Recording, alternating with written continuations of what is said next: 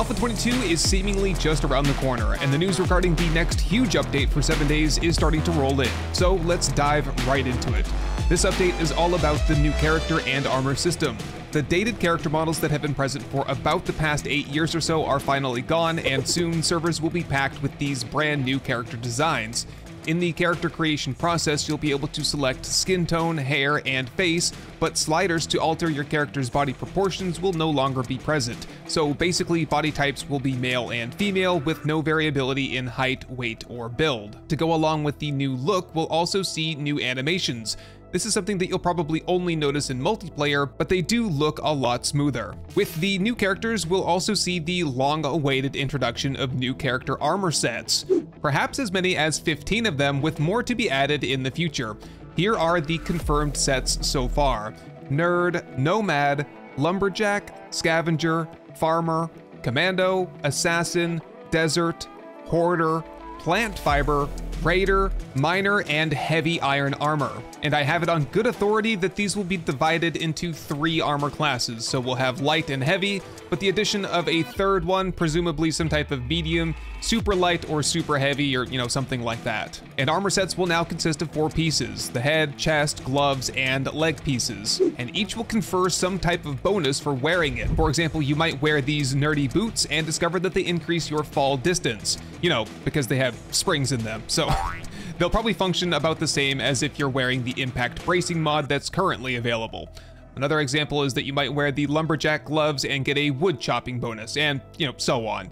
With as many as 60 individual armor pieces, it'll be interesting to see what bonuses are available and which ones are best for different builds. Now, if you're wearing the entire set, you'll get an additional bonus, much the same way that you get a bonus for reading a whole set of books, and there's a special perk at the end. So, sticking to a single armor theme could be more beneficial than a mix and match set. Speaking of mix and match, the sets are said to blend together seamlessly. Currently, there are some issues in the game when wearing certain combinations of clothing, but that should be resolved, and the player's hand in first-person view will reflect whatever glove type you're wearing. Zombies will now have variable outfits, at least most of them.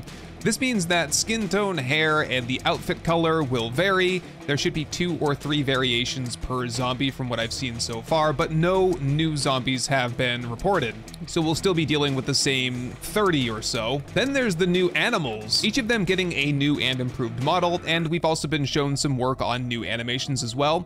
I'm most excited for this new Grace. This ought to be fun to see in the wild. And finally, we'll see four brand new vehicles, except they're the same vehicles they just look different. Of course, vehicle mods will now be visible on the vehicles. For example, there's a bunch of different mods you can see here for the new 4x4.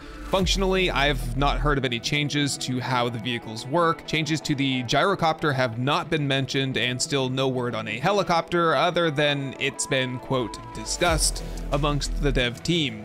Not to mention there's a bunch of code for it in the game files already. Next up, we have several new POIs, everything from new army camps to a new school, various commercial buildings, even a tier 5 football stadium has been reported. And there has also been mention of some, quote, trigger improvements, which basically means they're working on how, when, or where zombies will appear out of thin air. Hopefully, this will make stealth more viable on high tier quests. Random world generation will see additional improvements. It's said said to perform better with less memory usage and faster generation times. Most notably to me is that roads can now carve through mountains, so you might see underground tunnels connecting cities together, kind of like the underground tunnel on the northern end of Navezgane.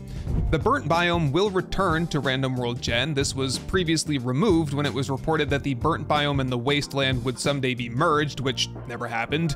And the wasteland is said to now consistently occupy the center of the map with the other biomes surrounding it.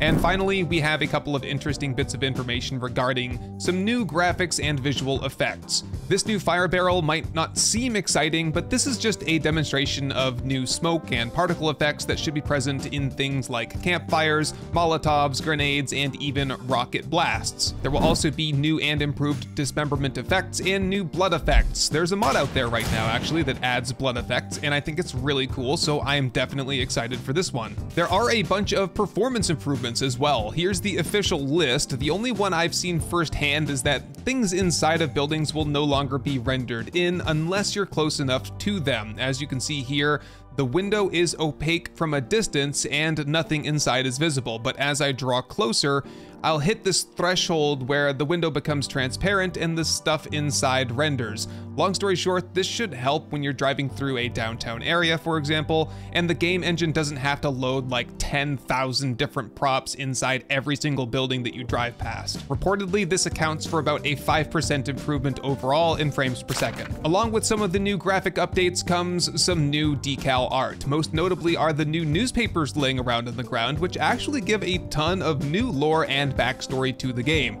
This newspaper here, dated December 5th, 2033, talks about the eventual 1.0 release of 7 Days to Die. No, I'm just kidding. It actually talks about the zombie virus spreading across the country, but so far, sparing Arizona, which is the setting for this game. The virus is being called the Sepdiurnal virus, or SDV for short, and that's Latin for the Seven Days virus. This here is the Duke, Duke Cassador, the guy that the Duke casino tokens are named after, who is very outspoken about protecting Navezgane by closing the border.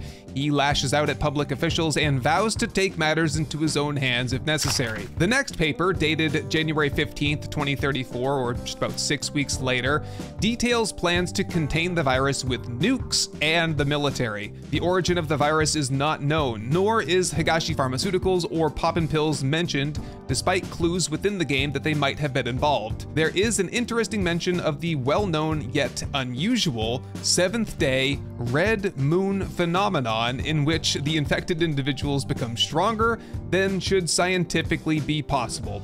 Pretty neat stuff here, if you ask me. Finally, there's the console update. Yes, it's real. I've played it myself, and it actually runs surprisingly well.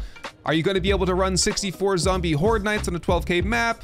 No. Consoles, even the modern ones, just can't seem to handle that kind of volume. So it will be released at about the same time as Alpha 22 on PS5 and Xbox Series X and S, and it will feature all of the Alpha 22 updates that we've reviewed so far. It will be an entirely new version of the game, so everyone who's already purchased 7 Days to Die on console just know that you currently own technically what will be a different version of the game. The new version will be called 7 Days to Die Apocalypse Edition. Now, the Fun Pimps have stated that they hope to be able to offer a discount on the new version to people who already own the old version, but honestly, I'm really not counting on this. They initially told me this in October of 2022 during my interview with Rick and Joel, and they told me the exact same thing in October of 2023 when I talked to them over at TwitchCon. So it's starting to sound like lip service to me. And uh, still no word on crossplay yet. I think this either fell through or was never actually viable. No official word on that yet. And that's it. So if you're wondering what I think about all of this, well, I'm happy. It seems like it'll be a fun update, but I'm also a little bit disappointed. Considering we're pushing one year of development for Alpha 21, I was really hoping to see a little bit more. It feels like um, it feels like everything will just play the same, but look slightly different, which I guess could be a good thing. I mean, there aren't any massive gameplay overalls this time around, like, you know, magazines or the water rework. Anyway, you know, we'll see how it all plays out, and I'll reserve judgment uh, on these little individual things until I get a chance to try it out in the game. I just, I don't think it's fair to judge things based on, you know, limited information that we have so far. So Anyway, thank you very much for tuning into this update video. Let me know what you guys think in the comments below. Subscribe for full Alpha 22 coverage up to and through release. And don't forget to leave a like if you found this information helpful. Anyway, my friends, hopefully I will see you in the next one. Hey everyone, I just wanted to say thank you for watching, for leaving a like, but most of all, thank you to the long list of amazing supporters that you see right here. I hope this episode has earned your subscription, and I can't wait to show you the next one. Best wishes to all, and goodbye.